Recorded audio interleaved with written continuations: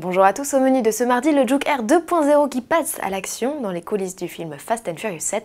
Avant cela, on reparle de Hitchbot, le robot autostopper.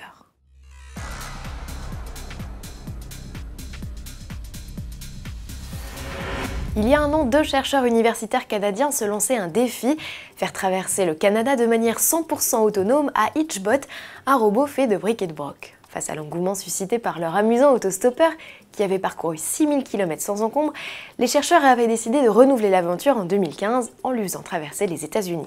Mais voilà, le périple d'Itchbot s'est terminé prématurément après 480 km seulement.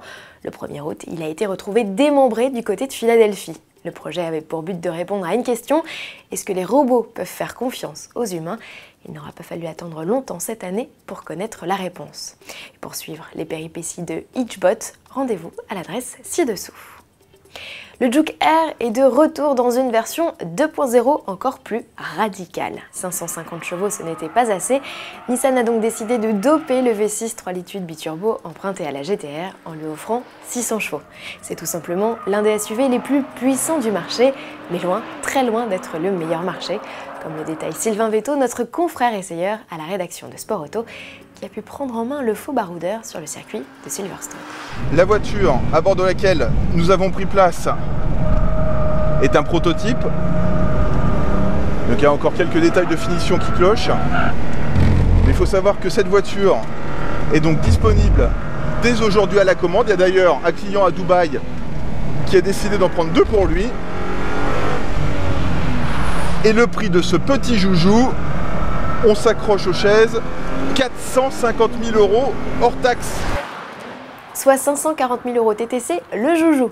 Ouvrez l'œil, comme le Juke Air, la production sera ultra limitée. Clin d'œil à la traduction littérale de Nissan, Ni signifiant 2 et San 3, il n'y aura que 23 exemplaires.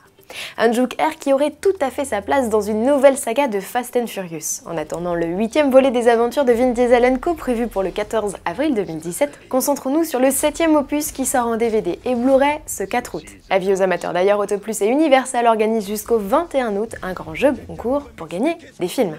Pour participer, rendez-vous à l'adresse concours.autoplus.fr.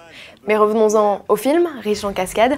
Justement, on vous plonge quelques secondes dans les coulisses de la réalisation de l'une des plus impressionnantes scènes où Dom et Sean, Vin Diesel et Jason Statham terminent leur course-poursuite dans les arbres. À demain. and do their drop together. We had one day left, but it was the most important thing that I wanted to shoot. And I remember the producer saying, you know, we might not make it because of the weather. And the weather was the most beautiful day we had. The gag went as beautiful as it could go. We were running through trees and we had jumps and just shearing off branches. And then we had a tree made out of steel and then Dan dressed a real tree around it. It's probably 30 foot long tree that had supposedly fallen down as a skewer on this end. And we jumped that car about 80 feet right into the tree. And just skewer it. Oh, look at yours is awesome.